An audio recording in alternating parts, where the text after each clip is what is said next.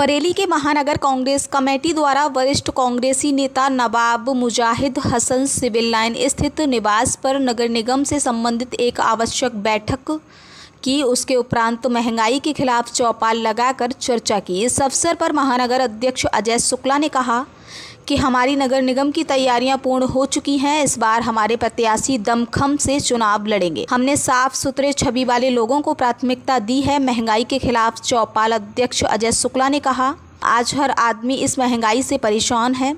आज महँगाई आम आदमी की कमर तोड़ रही है। जीवन निर्वाह करना मुश्किल हो रहा है। महिलाओं को अपना घर चलाना मुश्किल हो रहा है। हर आदमी महँगाई से त्रस्त है। आईसीसी सदस्य प्रेम प्रकाश अग्रवाल ने कहा, नगर निगम चुनाव में हमें किसी भी भेदभाव के बिना अपने प्रत्याशी को जिताना है। उसका पूरा सहयोग भी करना है। प्रत्याशी को जिताने में ही हमारी जीत है। महँगाई पर उन्होंने कहा कि आज महँगाई ने घर का बजट बिगाड़ दिया है।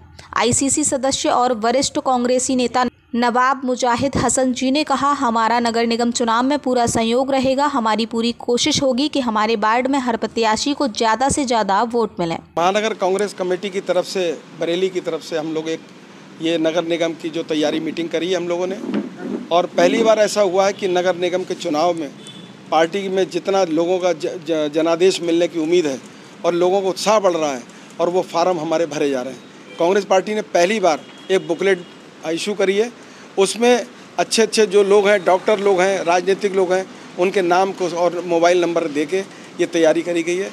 सबसे बड़ी बात यह कि अब हर वार्ड में हमारे प्रत्याशी एक या दो दो हमारे आए हुए हैं। एक चुनाव संचालन समिति बनाई हम लोगों ने नगर निगम के लिए। वही इसमें देखेगी कि कौन सा प्रत्याशी अच्छा लड़ सकता है। छवि अच्छी होनी चाहिए। यूथ होना चाहिए और उसको पार्टी के प्रति उसका समर्पण होना चाहिए। उन्हीं लोगों को टिकट दिया जाएगा।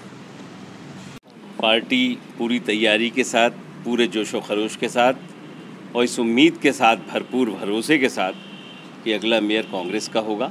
इस इस भरोसे के साथ उतरेगी।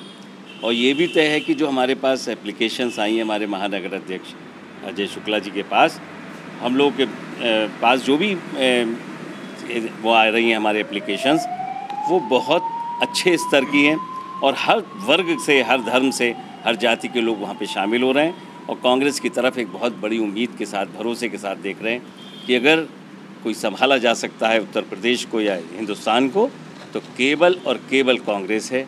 हमारी नेता का, हमारे बड़े बड़े नेताओं का जो एक यहाँ पे एक सहयोग और उनका जितना बड़ा त्याग और बलिदान का एक इतिहास है, आज कांग्रेस की तरफ़ आदमी बहुत उम्मीद से देख रहा है। हम लोग आने वाले चुनाव में, नगर निकाय के चुनाव में बहुत बड़ी जीत हासिल करेंगे। इस भरोसे के साथ हम लोग पूरी हिम्मत और जोश व खरोश के साथ लगेंगे शुक्रिया।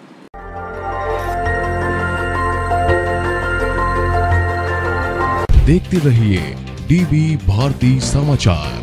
नज़र हर खबर पर।